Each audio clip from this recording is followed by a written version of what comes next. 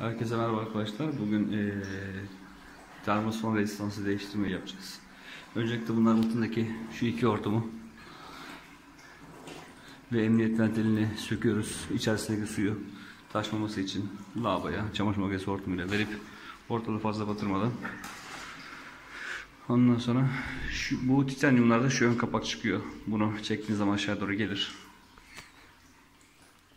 Sırasıyla buradaki kabloları söküp bunları dışarı alıyoruz.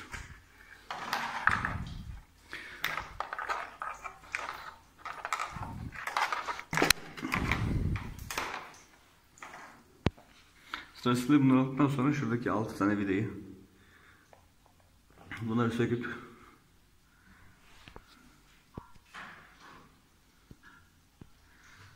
Bunları söküp rezistansı dışarı alacağız. Şu zaten üzerinde belli patlamış. Rezistansımızı söktük. Şu an içerisini görmüş olduğunuz gibi. Burada böyle. Güneş dolu.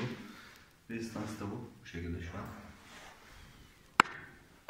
Şimdi bu Termosforumuzun rezistansını çıkarttık. Şu an içerisini bayağı bir temizledik. Yaklaşık bir kova kireç çıktı maşallah. Bir de içerisine su verelim tekrar. Şöyle kabasını arttıralım.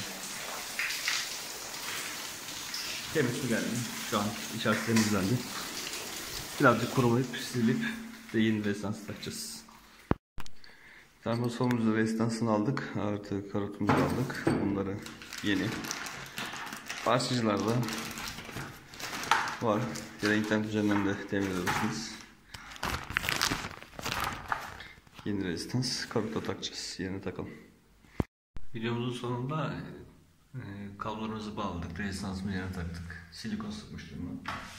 Şekilde Dyson silikon kullandım. Yerine taktık. Elektriği bağladık. Yerine montajını yaptık. Bir topraklama kaldı. Onu da bağlayacağım. Şu an kullanım hazır. Siz de videolarımı beğeniyorsanız yorum atabilirsiniz. Görmek istediğiniz Termosfon kombi. Onların da e, yorumlara belirtirseniz denk geldikçe onları da atarım. Kendinize güvenin siz yapabilirsiniz. İyi seyirler.